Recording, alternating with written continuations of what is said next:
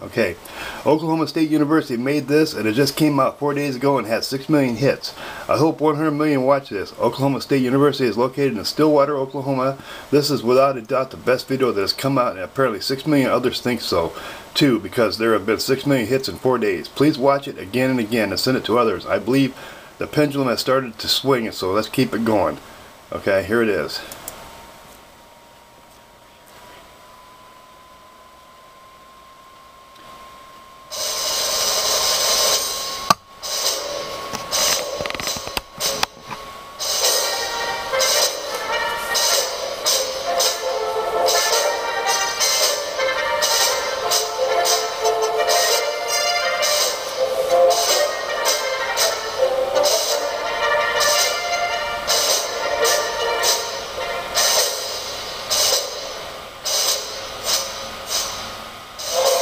Dear President Obama, we, the people, have stated resolutely we reject your vision for our country. You claim you have not heard us. We, the people, have assembled across America resisting your efforts to subvert our Constitution and undermine our liberty. You claim you have not seen us. Since you have not acknowledged our message, let us here present it once more. For if, as President Wilson said, a leader's ear must ring with the voices of the people, the time has come. Our greatest treasure is freedom, the absence of restraints on our ability to think and to act.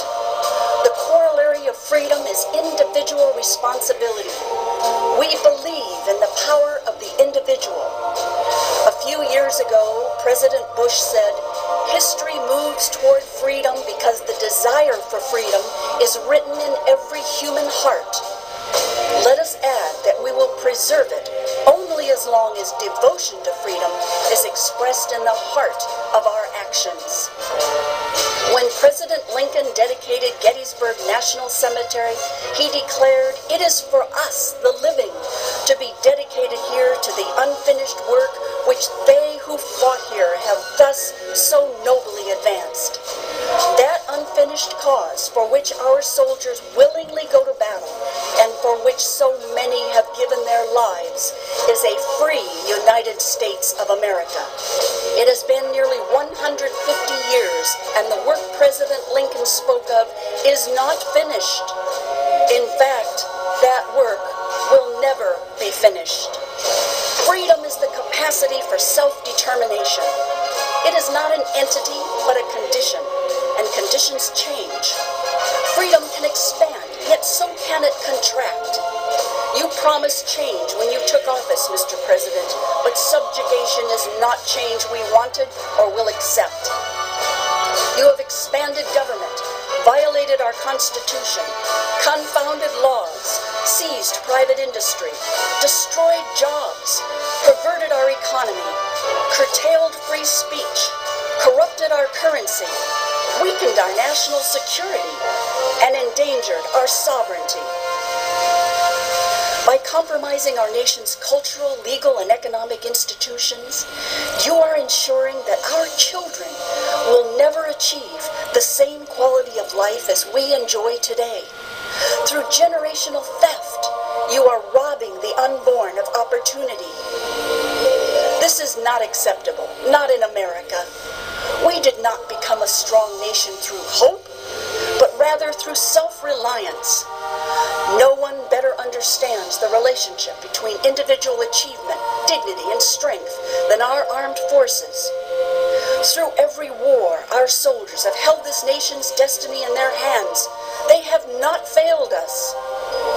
They cherish freedom enough that they are willing to die for it. Our duty to them and to ourselves is to treasure freedom enough to live up to it. Accept the challenge, Mr. President. That is why we are assembling across the land to deliver our message to you as often and in every way we can. Dismiss us at your political peril. Our great nation is a republic. We will not accept tyranny under any guise. Your policy to redistribute the fruits of our labor is statism and will not be tolerated. By our honor, Mr. President, We vow forever to resist coercive government in America. Patriots will not stand silent as you attempt to dismantle the greatest nation on earth. We, the people, will defend our liberty. We will protect our beloved country, and America's exceptionalism will